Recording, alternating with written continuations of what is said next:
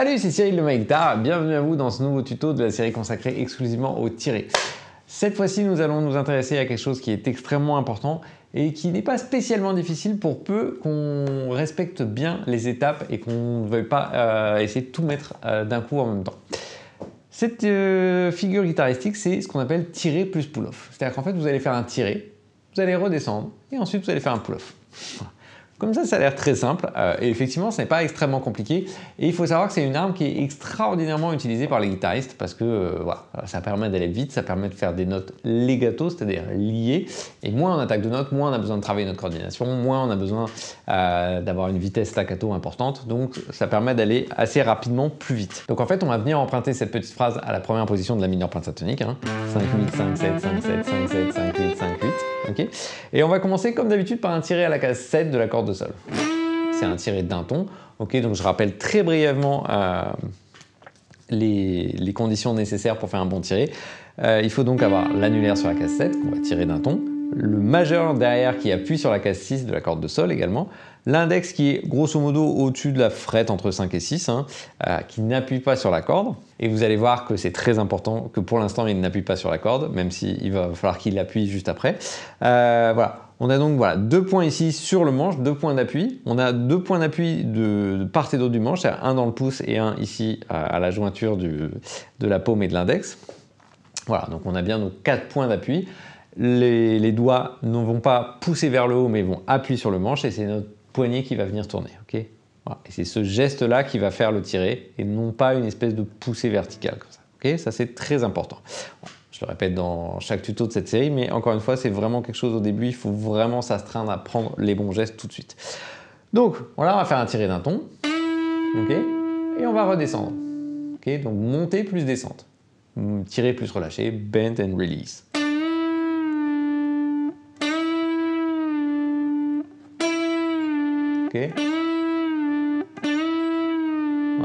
Et c'est très important d'abord de bien travailler ça avant de, mettre le, doigt derrière puis ensuite de faire le pull-off.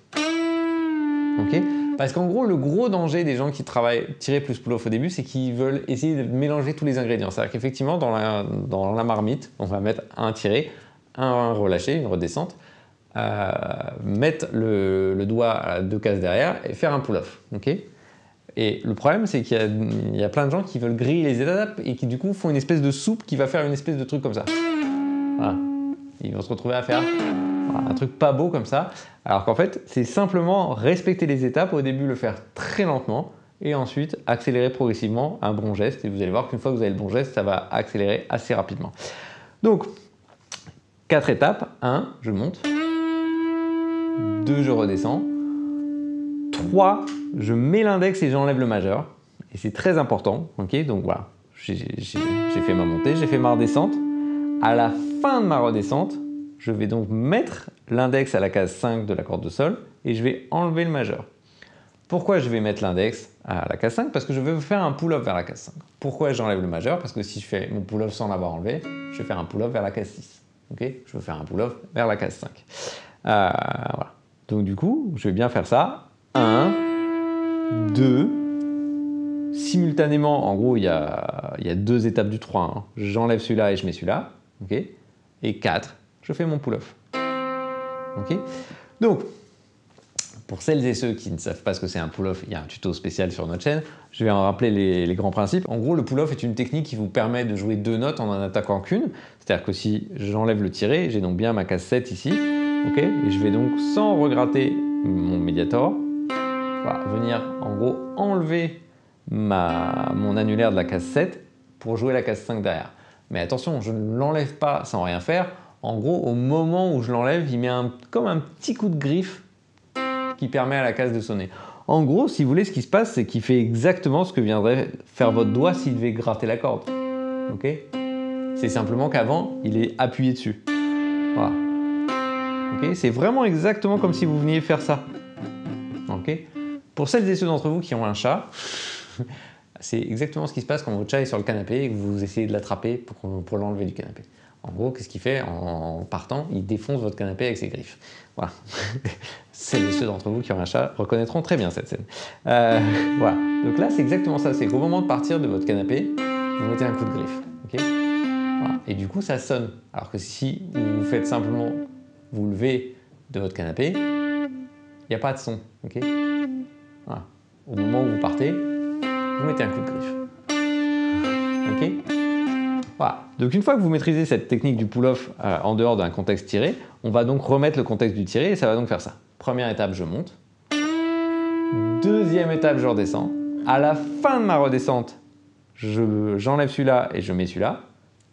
Troisième étape donc. Quatrième étape, pull-off. Tout ça combiné va donc faire ça. 1, 2, 3, 4.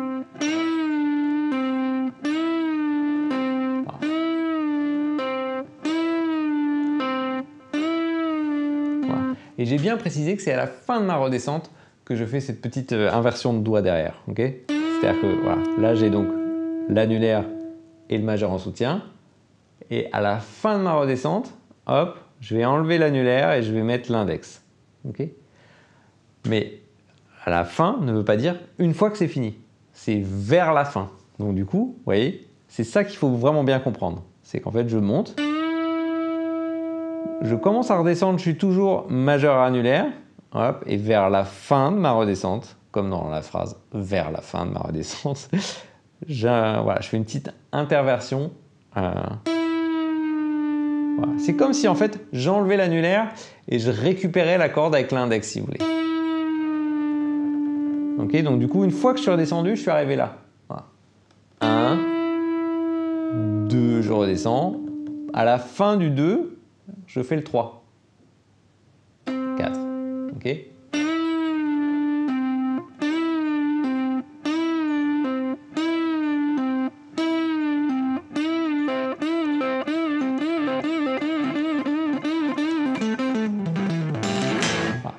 une fois que vous allez bien comprendre ce geste-là, vous allez pouvoir l'accélérer. Et c'est comme ça qu'on fait ces plans répétitifs à la Jimmy Page. Euh, ah, qui fait dans Heartbreaker, mais il le fait dans d'autres plans. Euh, en l'occurrence, euh, dans Heartbreaker, il est pas en là, il est en sol, je crois, mais peu importe, hein, c'est le même. Ok? Là, on va plutôt faire un plan qui ressemble un petit peu à Are You Gonna Go My Way de Lynn Kravitz, qui n'est pas en là, mais qui est en mi, mais ça n'a aucune importance, et ça va faire ça.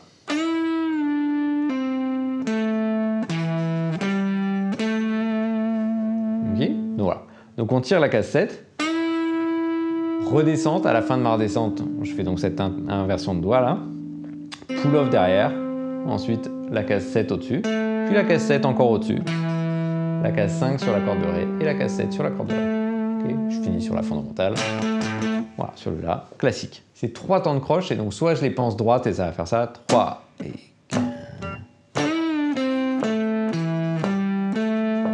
là on va être très proche de notre ami Lenny. Soit on va aller penser shuffle, puisque le backing track sur lequel on va mettre ça est un blues, et ça va faire ça 3, 4.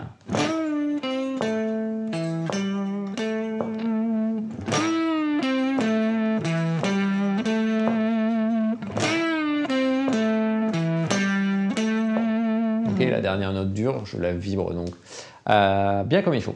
Voilà, on se met ça avec le backing track, c'est parti. 2,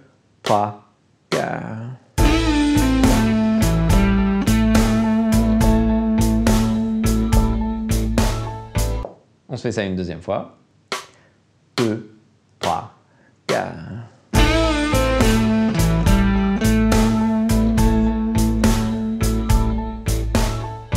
Voilà, donc faites bien des beaux tirés plus pull-off. Euh, encore une fois, profitez, téléchargez le backing track si vous ne l'avez pas déjà fait dans les épisodes précédents. C'est le même que les épisodes précédents, mais donc voilà, si vous ne l'avez pas fait, téléchargez-le et entraînez-vous euh, à cette petite phrase voilà, sur ce backing track. Encore une fois, le grand problème que rencontrent beaucoup de gens sur ce plan-là, c'est qu'ils ne séparent pas suffisamment les étapes. les deux seules étapes qui se chevauchent, c'est 2 et 3. C'est-à-dire que c'est effectivement à la fin de la redescente euh, qu'on commence, voilà, qu'on fait cette, petite, euh, ce petit subterfuge des doigts, là, le, majeur qui se lève et l'index qui se met derrière.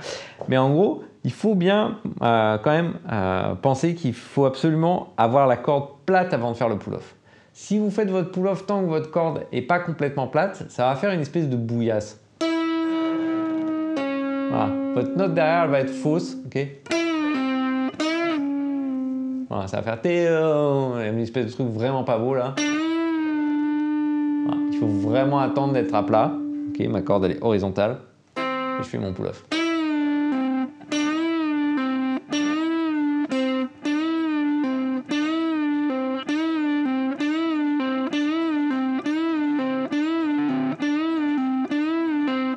Et ne vous dites pas, je fais le tirer directement comme ça. Voilà. C'est là vous allez vous faire mal directement en sent que ça fait des contractions ici, c'est pas nécessaire. Ok Voilà. C'est une étape. Il y a ces deux doigts là. Quand je redescends, hop, je fais un petit subterfuge ici, là, tac, je me retrouve comme ça, ma corde est à plat, et je fais mon pull-off. Ok? Voilà. Il faut vraiment le travailler lentement. Plus vous le travaillez lentement et en visualisant bien les étapes, plus ça sera clair dans votre esprit et plus ça sera clair, plus vous pourrez l'accélérer vite et bien. Voilà, si ce tuto vous a été utile, n'hésitez pas à mettre un petit pouce bleu. On se retrouve très bientôt sur myguitar.com. Abonnez-vous à notre chaîne YouTube. À très bientôt. Ciao. One, two.